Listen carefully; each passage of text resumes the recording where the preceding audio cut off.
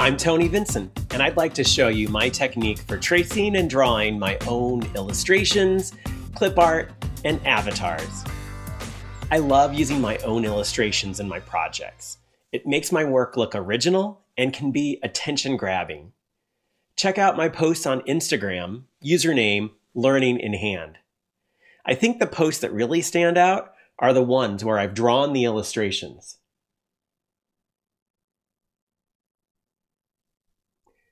There are a variety of apps for tablets that can import an image as a background layer, allowing you to draw on top. Explain Everything and Autodesk Sketchbook are available for just about every kind of touchscreen device. While both of these apps are good, I happen to use Adobe Illustrator Draw on my iPad. I use an Apple Pencil for my stylus. A stylus is not necessary to draw on your tablet, but even a cheap stylus can make it easier to draw and trace. Let's trace a map. Drawing your own map is helpful because you can use your own color coding and labeling. Let me show you. I've found a map of the original 13 American colonies. I'm importing it as the background image layer in a new project. Notice that this image is not very high resolution. That's okay, because after tracing, I will have a much clearer image. So that I can see my own pen marks better, I like to make the photo layer somewhat transparent.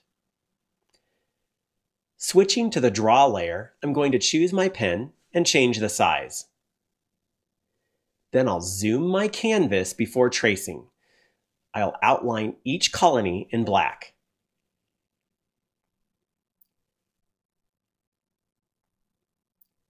If I make a mistake, I click the undo button. I end up using this button a lot. Next, I want to color code the colonies according to their regions. To make the New England colonies blue, I select a color. In Adobe Draw, you can bucket fill an enclosed area by long pressing inside the area. Other drawing apps might have a dedicated button fill tool. Oops, my bucket fill spilled. That's because I did not fully enclose the shape. I'll need to use my pen to close up the hole and then try filling again.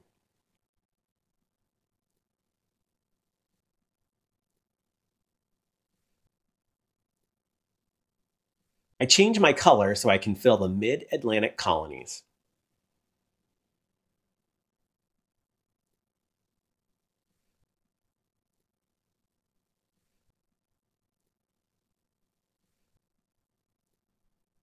And again, I change the color and I bucket fill the southern colonies.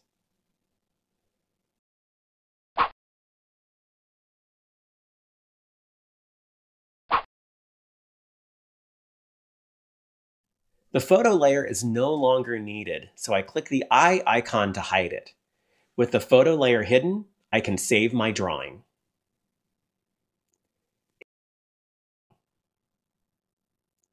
It gets more complicated when you want to draw objects and people. I like tracing from photos because, well, my freehand sketches don't end up looking how I want them to look. If I trace my illustrations, they are much more recognizable. You can bring in any image as the photo layer to trace. Now, I prefer to use photos that I've taken myself as the photo layer tracing someone else's source image might be copyright infringement. So if you intend to use images that aren't yours, it's best to stick with images you have permission to use, like public domain and Creative Commons images. Let's use the tracing technique to draw an object. Let's draw this microphone. I bring in a photo that I took of the microphone as the photo layer. I make the layer mostly transparent so I can see my lines better. Switching to the draw layer, I outline the microphone in black.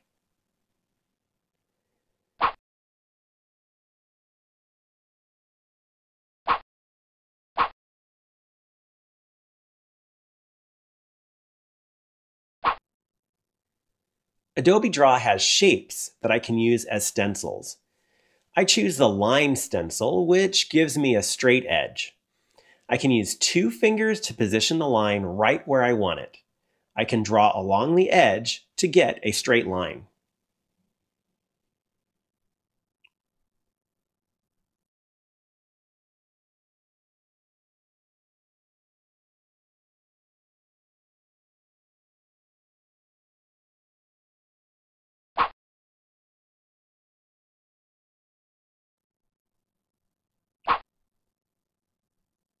With my tracing done, I'm going to make the photo layer fully opaque again. I want to color the top of the microphone purple, just like in the photo. To get that exact shade of purple, I long press color and a chooser appears. I move the chooser to select the purple from the photo. That exact shade of purple is now my selected color.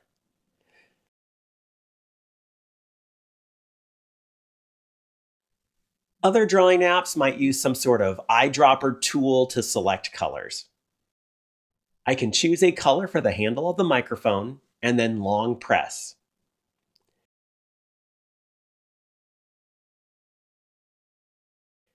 The other parts of the microphone are different shades of that same color. So check this out. I can click color and then select picker. I adjust the slider to choose a lighter or darker shade. Then I can use this color for bucket filling. When my drawing is complete, I can save or copy it. I prefer to copy and then paste into apps like Keynote, Google Slides, or Book Creator. There, I can combine my illustration with text and other photos. In the map and microphone examples, we used just one drawing layer. Adobe Draw allows for multiple drawing layers. Now, if you're new to drawing apps, you might want to stick with just one drawing layer. It starts to get confusing when you add layers. When I draw people, I do like to use layers. For example, in this illustration, I've used several layers. With layers, I'm able to change colors, words, and pictures on the shirt. In this example, each person is on their own layer. This one places each object on its own layer. Here, I put myself on one layer and the parts of the computer on other layers. In this illustration, I took a photo of my daughter. Her hair, face, shirt, and iPad are all on different layers. But in this one with my son, all the drawing is on one layer.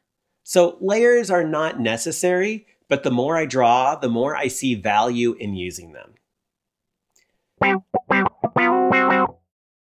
Drawing people is challenging. With practice, I'm improving. Now, there are different ways to draw people and their avatars. One way is to outline in black and then fill with colors. Another is to outline and fill with shades of the same color. Or you could have no outlines at all. Instead, you use different colors and shapes. Having no outlines is the way I prefer drawing my avatars. Let me show you. After I get my photo layer in place, I draw the neck. I trace it and then fill with the same color so you don't see an outline.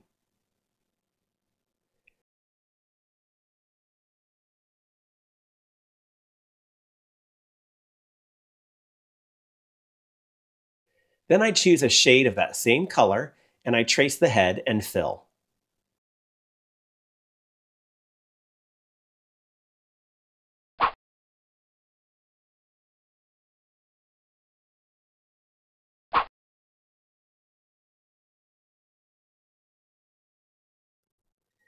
I like to put hair on its own layer, so I add a layer and trace and fill.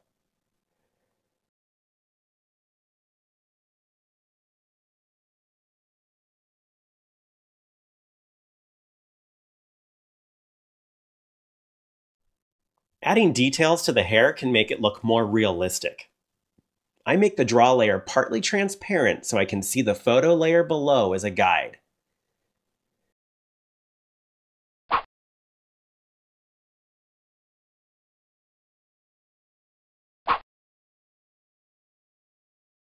Now I jump back to the head and neck layer.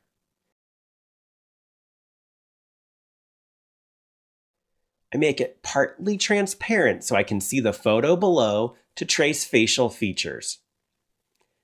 I have to decide exactly how much detail to include as I draw.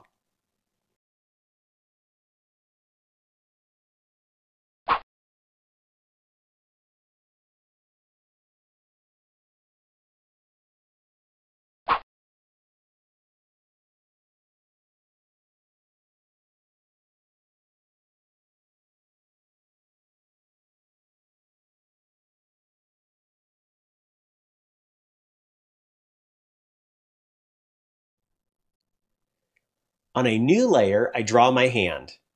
I found that hands have to have outlines, otherwise they look like blobs. So I outline in one color and then fill with a similar color. I add another layer and trace and fill in my shirt. Finally, I hide the photo layer to see my finished illustration. I can always go back and make changes to any of the layers. I've built up quite the library of projects.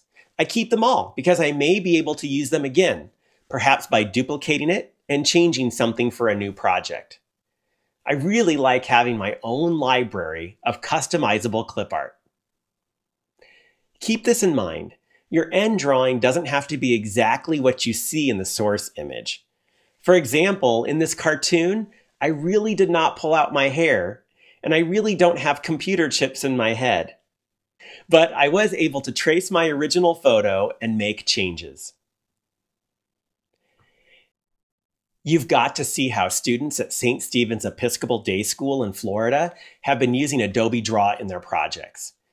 They've color coded their own maps, drawn cartoons for prepositions, made avatars, and have created illustrations for their projects. They are getting better and better with Adobe Draw. I continue to learn and improve when it comes to creating my own illustrations, clip art, and avatars. Practice and experimentation can help you discover your own sense of design. If you've got a growth mindset, you'll continue to learn, progress, and improve. See how I progress and improve by following me on Instagram. Also, follow me on Periscope. Sometimes I draw live. I have tons more tips to share. And I'd love to teach you in person. Contact me about speaking at your school or conference.